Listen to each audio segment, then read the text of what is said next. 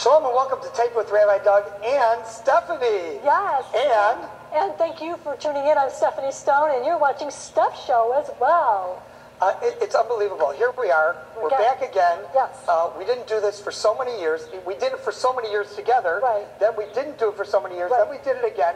And then we didn't do it for so many years. And here we are doing it again, close together, two shows. Yeah. It's unbelievable. And I'm so glad to have you back on my show. I'm so glad to be on your show. I'm glad to so glad we're yeah, together because glad to be on your show, once too. again, as I mentioned last time we were together, so many people ask me, Where's Stephanie? What happened to Stephanie? Especially the viewers that don't get the Steph show, who uh, are in the city and in the in the farther suburbs, people out in Waukegan and people out in in, in Hoffman Estates, which now get your show.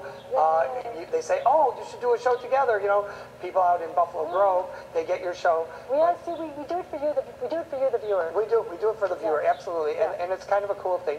Last time we and, talked and about. for, and for us. Again, well, it's, we have a good time together, Yeah. and it's nice to be back together with you. And um, and we, we will do this much more often. I, I want to tell you, we, we talked about matzo ball soup last Yes. time. Yes, we did. And someone sent in a note and said to me, uh, "What kind of things do you add to your matzo ball soup?" And uh, uh, do you know what ingredients? So, mm. what ingredients go in matzo ball soup? Do you, ju- do you just let's talk about the chicken Well, soup? Really, the chicken soup. First, oh, the chicken soup? The chicken Let's soup. see, water, bouillon cube. No, wait, not What if you don't use bouillon and you don't? Chicken. Chicken, okay. Chicken and water. Parsnip is something that makes a, a chicken soup have that chicken soup flavor. It adds uh, even more than the other vegetables. Parsnip has a special flavor which changes chicken soup from tasting like oily soup into into the flavored soup that you have. And of course, the salt.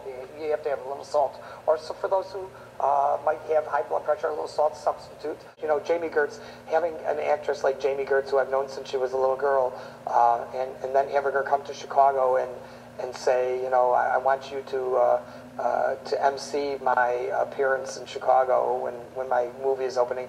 So when she asked me to do that, I was very honored to be able to do it. And then she did a show with me, and uh, she uh, she made it a point to take pictures with my daughter, and she just was she was very nice. Obviously, her brother and I are still good friends, and uh, I don't see her very often. But for her to come to Chicago and ask me to do that, that was an exciting Yeah. thing. And it, it's things like that that make doing TV.